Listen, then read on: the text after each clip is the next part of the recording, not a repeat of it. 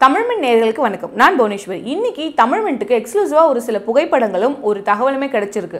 அது எதை பற்றின்னு பார்த்தோன்னா குவாரி மற்றும் க்ரஷர்ஸ் உரிமையாளர்கள் சென்னையை சுற்றியுள்ள ஏழு மாவட்டங்களில் அதிகாரப்பூர்வமற்ற ஒரு வேலை நிறுத்தத்தில் ஈடுபட்டு இருக்காங்க இதற்கு காரணம் சுரங்கத்துறை அதிகாரிகளுடைய குளறுபடிகள் தான் சொல்லப்படுது. இந்த வேலை நிறுத்தம் இன்னும் இரண்டு தினங்களில் தமிழகம் முழுவதுமே தொடர்வதற்கான வாய்ப்புகள் இருக்கு. அப்படி தமிழகம் முழுவதும் இருக்கக்கூடிய குவாரி மற்றும் க்ரஷர்ஸ் உரிமையாளர்கள் வேலை நிறுத்தத்தில் ஈடுபட்டாங்கன்னா கிட்டத்தட்ட பத்து லட்சம் பேர் வேலை இழக்கும் அபாயமே இதில் இருக்கு.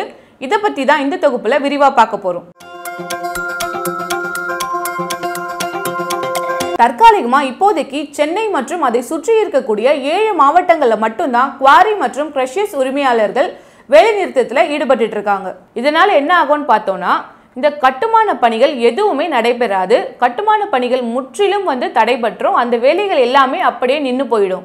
கட்டுமான பணி நிறுவனங்களுக்கு தேவையான மணல் ஜல்லி சிமெண்ட் போன்ற எந்த ஒரு அடிப்படை தேவையான அந்த பொருட்கள் மூலப்பொருட்கள் எதுவுமே கிடைக்காம போயிடும்.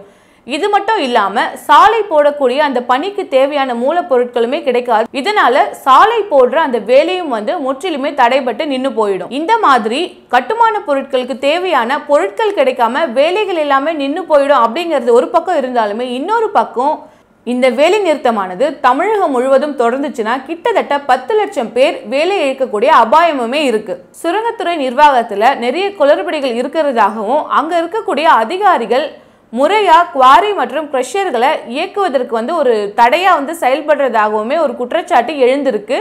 இந்த குவாரியிலிருந்து உடைக்கப்படக்கூடிய அந்த பாறைகள் கல் எல்லாமே க்ரஷர்ஸ்க்கு போயிட்டு அங்கே இருந்து அது உடைக்கப்பட்டு அந்த கட்டுமான பணிகளுக்கு தேவையான மூலப்பொருளாக மாற்றப்பட்டு அது வந்து எடுத்து செல்லப்படும். ஆனால் இப்போது அங்கேயே ஒரு பிரச்சனை நிலவறதால இந்த பணியானது நின்று இருக்கு இப்போ அதற்கான புகைப்படங்களையுமே வந்து பார்த்தோன்னா நீங்கள் வந்து இப்போ பார்த்துட்டு இருக்கீங்க. இந்த புகைப்படங்களில் பார்த்தாலே தெரியும் இந்த குவாரி மற்றும் க்ரஷர்ஸில் எந்த விதமான ஒரு வேலையுமே நடக்கலை. அங்கே யாருமே வேலை செய்யக்கூடிய அறிகுறியே கிடையாது. அன்அஃபிஷியலாக அதாவது அதிகாரப்பூர்வமற்ற ஒரு வேலை நிறுத்தமானது ஏழு மாவட்டங்களில் மட்டும் இப்போதைக்கு நடந்துட்டுருக்கு. இந்த புகைப்படங்களை பார்த்தாலே தெரியும். அங்கங்கே வந்து லாரிகள் வந்து அப்படியே நிற்குது கற்கள்லாம் வந்து எடுத்து செல்லப்படாமல் அப்படியே வந்து குவையெல்லாம் வந்து காணப்படுது. இந்த மாதிரியான ஒரு புகைப்படங்கள் நம்ம பார்க்கும்போது இந்த வேலை நிறுத்தத்துடைய தாக்கமானது நமக்கு முழுவதுமே வந்து புரியுது. இப்போ இதே மாதிரியான ஒரு நிலைமை வந்து தொடர்ந்துச்சுன்னா தமிழகம் முழுவதும் இருக்கக்கூடிய குவாரி மற்றும் க்ரஷர்ஸ்களில் ஒரு வேலை நிறுத்த போராட்டமானது வந்துட்டு நடைபெறுவதற்கான அனைத்து சாத்தியக்கூறுகளுமே இருக்கு.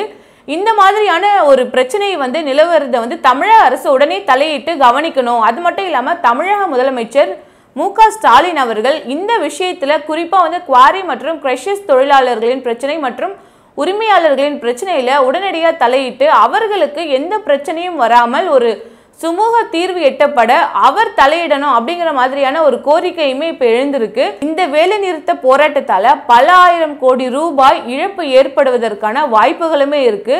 கட்டுமான பணிகள் எல்லாமே வந்து பார்த்தோம்னா இந்த குறிப்பிட்ட ஏழு மாவட்டத்தில் இப்போ வந்து ஒரு அதிகாரப்பூர்வமற்ற போராட்டம் நடக்குது இல்லையா? அந்த இருக்கக்கூடிய மாவட்டத்தில் ஏற்கனவே கட்டுமான பணியானது வந்து தடைபட்டு இருக்கு அவங்களுக்கு கிடைக்கக்கூடிய அந்த கட்டுமான பணிக்கு தேவையான அந்த சிமெண்ட் ஜல்லி மணல் போன்ற பொருட்கள் எல்லாம் கிடைக்காம அவங்க வந்து ஒரு தட்டுப்பாடு வந்து சந்திச்சிட்டு இருக்காங்க. இதே நிலைமை தொடர்ந்து தமிழகம் முழுவதுமே வந்துட்டு இந்த போராட்டமானது வந்து தொடரும் பட்சத்தில் கட்டுமான பணிகள் மட்டும் இல்லாமல் சாலை பணிகள் போன்ற பல்வேறு பணிகள் இந்த மூலப்பொருட்களால் இயங்கக்கூடிய எந்த ஒரு வேலையுமே வந்து நடைபெறாமல் தடைப்படும் இது வந்து தமிழக அரசுக்குமே வந்து ஒரு மிகப்பெரிய பாதிப்பை வந்து ஏற்படுத்தக்கூடும். இதனால் உடனடியாக வந்து இந்த பிரச்சனைக்கு தமிழக அரசு சுமூக தீர்வை வந்து எடுக்கணும் அப்படிங்கிறது தான் எல்லாருடைய கோரிக்கையாகவுமே இருக்குது